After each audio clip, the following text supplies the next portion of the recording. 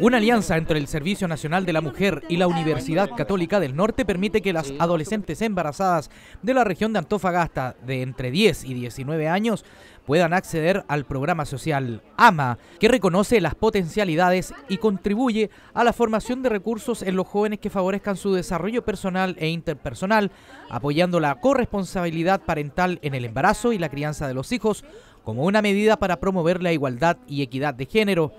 Fríos números que se vuelven reales con el testimonio de Kimberly, quien con 16 años está afrontando este proceso acogida por el programa AMA.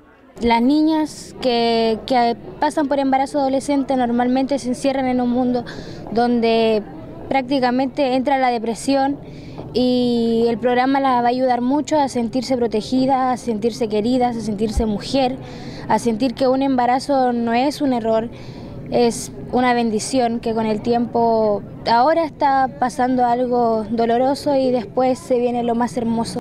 Para el CERNAM, región de Antofagasta, este programa contribuye a la inclusión social de las adolescentes embarazadas, madres y padres por medio del desarrollo de sus proyectos de vida que integren las dimensiones personales. Un programa, perdón, orientado a apoyar a las madres adolescentes antes, durante y después de su embarazo, con una atención psicosocial para las madres adolescentes para que no vean interrumpido su proyecto de vida.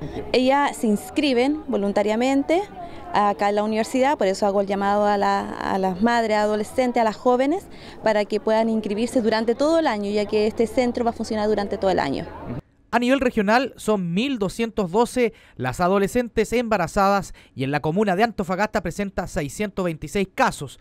De ellas, 24 tienen entre 10 y 14 años. El restante bordea los 15 a los 19 años. El programa AMA tiene abiertas sus inscripciones tanto en el CERNAM como en la Universidad Católica del Norte.